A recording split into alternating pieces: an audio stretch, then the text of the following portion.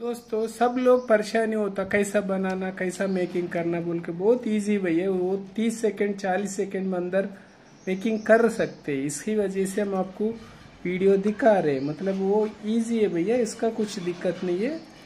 ऐसा कर लेना, ऐसा करने के बाद ये है ना, ऊपर एक एक टांका तरफ़ से बन लेना। ये रिफिल किसके लिए बना रहा? सब घर में रिफिल रहता।